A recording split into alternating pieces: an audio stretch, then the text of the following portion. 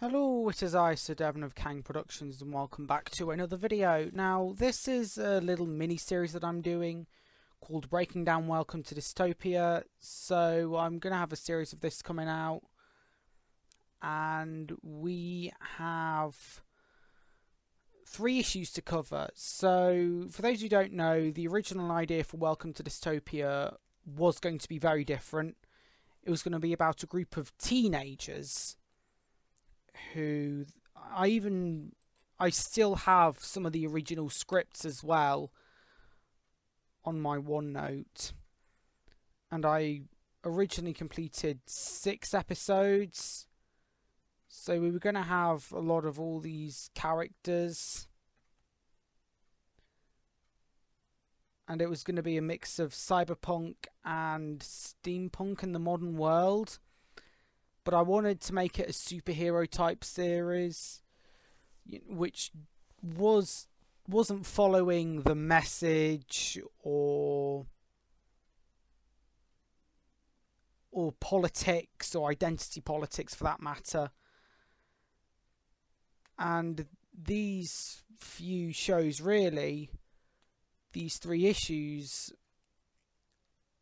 are what started it all and so I'm going to commentate through the first few issues, point out uh, some behind the scenes stuff, uh, some facts as well, so point out some Easter eggs. And production is very slow for the uh, show, so be warned about that. So without further ado, let's begin. So this character is called Prove Carson. He is based on named after Carson from Downton Abbey, and is that so? That's Jerron Hock. He's named after Bergstein Hock from Mass Effect. On a loyalty mission, and I loved filming this take over the Earth scene. It's kind of a prologue. I I wanted to do that effect. Originally, there was going to be a deleted scene, but it, I deemed it too inappropriate. And those figures are actually Mandalorians. Now, that green screen shot is from Halo, the Master Chief Collection. I've not played it in years. And just to clarify, this does take in the set place in the same universe as Riverdale, as you're going to hear uh, now.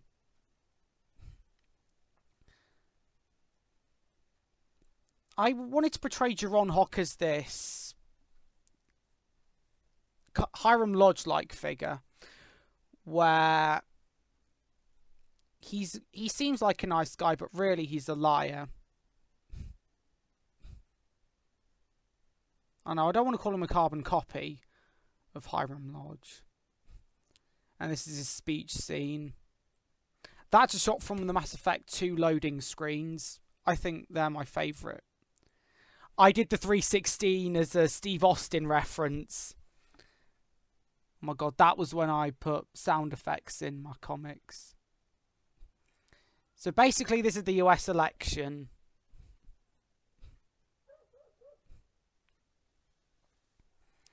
Uh, that's my awful Lego house set. That is, I actually in this I use a lot of Lego sets that I already own. You can see how it's very different from the original idea. So Jerron Hoxton is a Jerron Hock. Prove is in his early 20s and still lives with his parents due to Jerron Hock destroying everything. You can see the vengeance in his eyes. Now, that armour is the First Order Stormtrooper replaced with other parts with uh, Ninjago swords. I'm actually proud of that minifigure. And that was made by Archie Andrews, or Archie Andrews' corporation. Now, Shelby is named after the actress Shelby Bain, who was known for The Next Step. I tried to base some of the action sequences on video games so this one's kind of based on Mass Effect and Transformers War for Cybertron. You remember when you used to press a button to make a move? I love that um, rail gun. I've no idea where that final piece of the rail gun came from.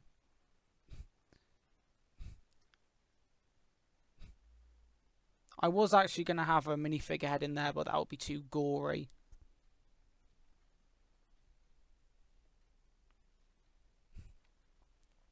Leaving an EMP.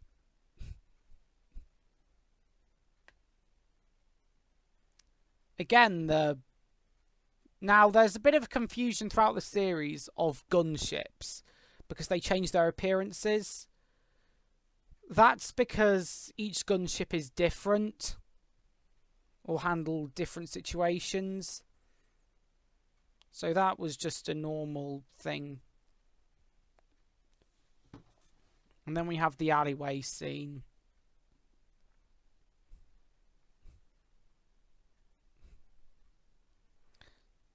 Ah, now this is would have been the library. That set breaks all the time.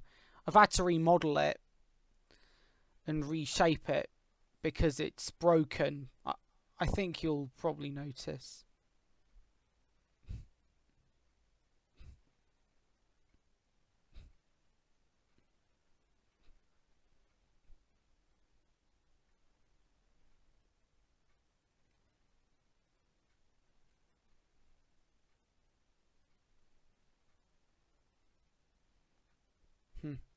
Ah, James. And this is where he gets his name. I love that shot. Crimson Archangel. Now we're on issue two with Karak. Of course, he assumes snipe position. So as I was explaining, uh, the gunships are all throughout different scenarios. So Helicopters deal with more lower buildings. And hover cars or hover gunships deal with the high rise stuff. I know helicopters can go up to that kind of way, but they're better at dispersing troops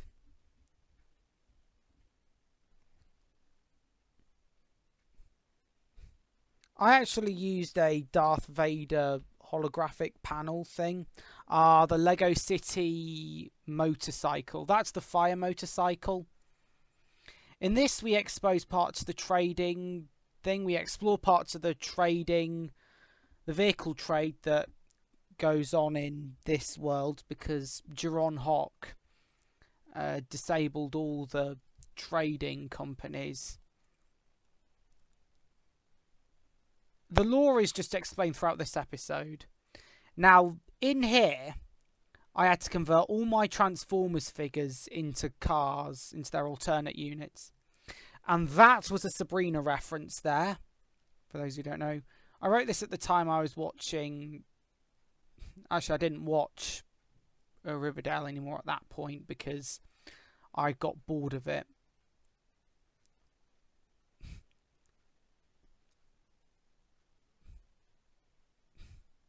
See why they call him Axeman. That's actually from Hagrid's Hut, which the base set was made from, converted from. And later on, I've yet to film any of this, but you're going to see some of the Hogwarts Express. But that's for another episode. And then the duel. I tried to make the dueling system similar to the Force Unleashed style of doing things. Poor Bumblebee. Yeah, you can see bits of Wheeljackers sticking out. And that's Mirage from Dark of the Moon. I've had that Wheeljack figure for years, and that Bumblebee was from Dark of the Moon, like the original toy line. Yeah, that was when I was an experience with speech bubbles. When I learned with the animation studio, you have to swap the speech bubbles around you know, it goes in an irrelevant place. You can see that he's getting a bit more threatening in this.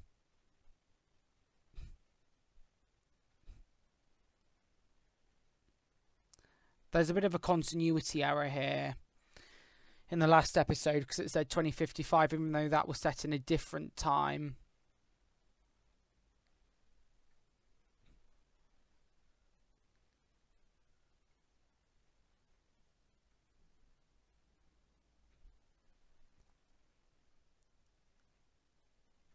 Uh, yeah. Unless Shelby malfunctioned a bit at first. Ah, Normandy Street Mass Effect reference.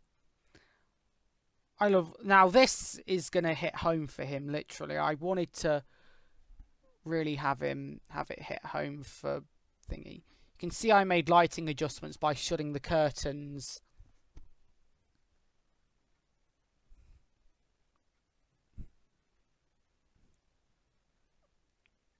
Oh, the sniper rally scenes.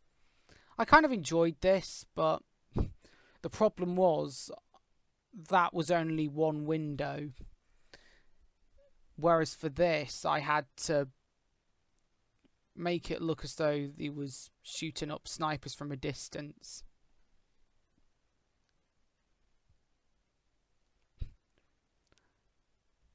That was my thing to replicate the function from Transformers War for Cybertron when the sniper beams focused on you while you were running.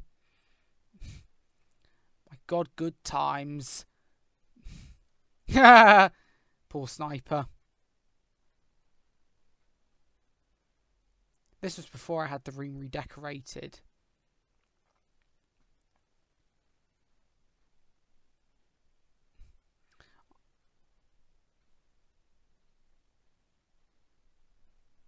Our vehicle chase scene. I took some inspiration from Need for Speed for this bit. Uh, Hot Pursuit was my favourite game because of the soundtrack. I don't mind Most Wanted. Most Wanted was a bit of an improvement. Bearing in mind, there we go, the car explosion. Bearing in mind, Hot Pursuit was on the Wii. Now we're leading into the third episode where we talk about the mercenaries.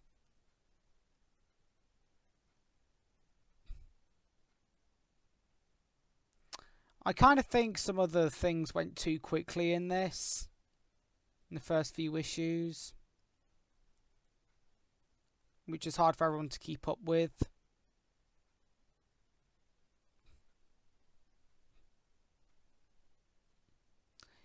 And that shot, by the way, is from Deus Ex Mankind Divided.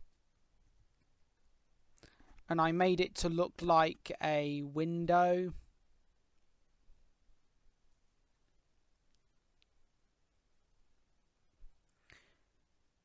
For Prove's outfit, I decided to make it both modern and smart at the same time. That's kind of my style as well.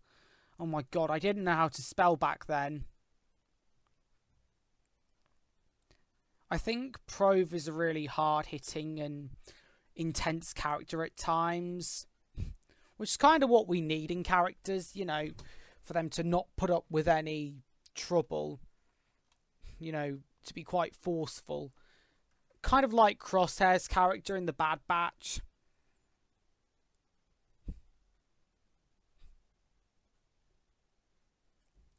Look at that intensity.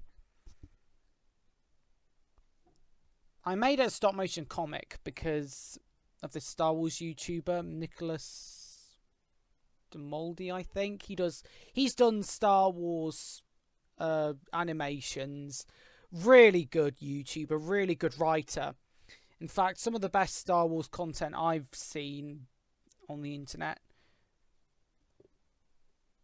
and that's what inspired me to get back into this because he always put speech bubbles, which was a good way for the characters to communicate instead of someone speaking over it.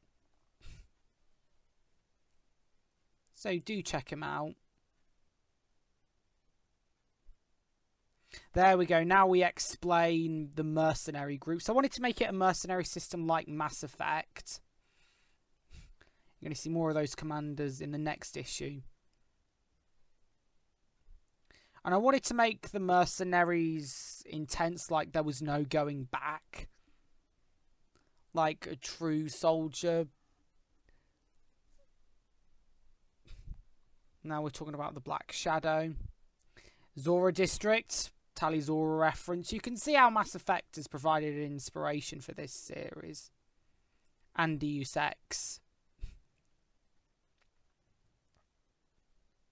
I was experimenting with Shelby uh, speech bubbles at the time and all the fonts that I wanted to use.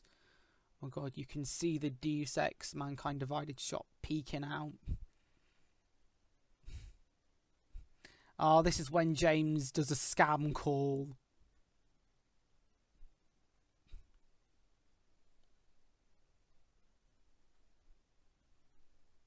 As if by magic they teleport.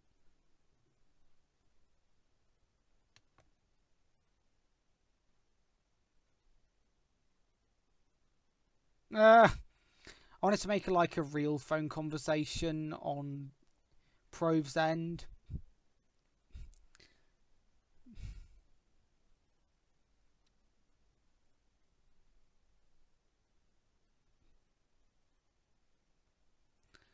I wanted to make it as though Jerron Hock and the mercenaries are kind of a. I love how James wants to order takeaway. Well, Prove's just like no. As I was saying, um, oh, I put a time frame there.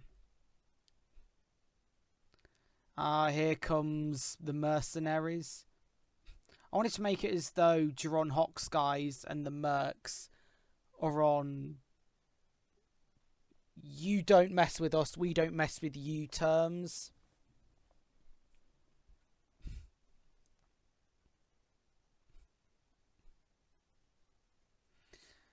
I, I used clone armor for the mercenaries. They're originally going to be Jerron Hock soldiers, but I thought no.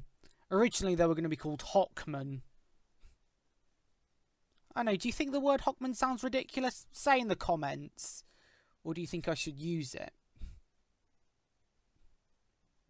Because I do take feedback and I will make changes if you want. James being diplomatic there. Uh, some of these episodes actually didn't don't make any sense at all.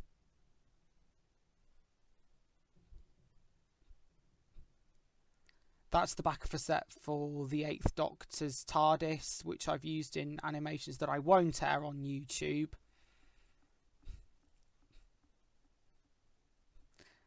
That's actually the side of this desk for the elevator. Uh, here we are in the Merc space, and there's Arnold. He's basically a weapons enthusiast. I had to make that set very quickly on the day I filmed it. I know it's not a good way to work. I might improve on that.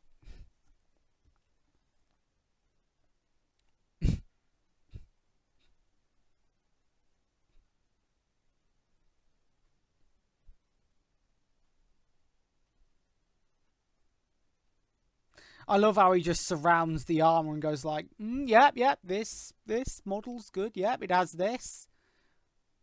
Look at that intense close up. He's not going to take his helmet off. That will be revealed in the next episode we cover. Then he lets go of, of all his weapons.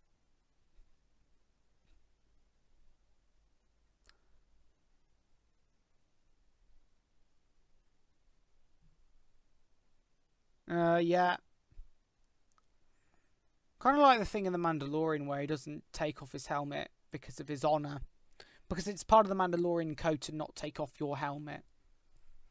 And actually, the reason I made the soldiers in this silent is because I wanted them to look menacing and look like they're hu- they're no longer humans.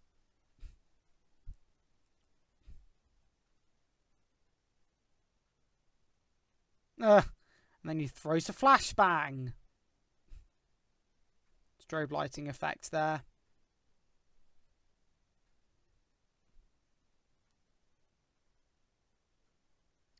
So that was the end of the breakdown for this comic. Uh, the first three issues, that is. There will be more of this coming soon. And I, I realised in the beginning I made a few continuity errors. And I needed to improve on that. And I will, rest assured, make a few adjustments to the script. So, yeah. Filmmaking wise, I I enjoyed making it. I love making it with Lego figures because the thing with Lego is I know they're not as flexible, but you can use anything as a base. So like you can use a cardboard box or storage box as a kind of an alleyway and you can use whatever you like. So this series is more of a behind the scenes, I think, on things, behind the scenes perspective. And I, I, I hope you enjoy it when I'll upload it after I upload the Welcome to Dystopia episode, and it takes a really long time to actually make the episode and edit it. I really should get knuckled down and concentrate on it more. But these things do take time. Um, but when it does drop, please do watch it. So I'd like to thank you very much for watching, and I'll see you all in the next video. So goodbye and good night.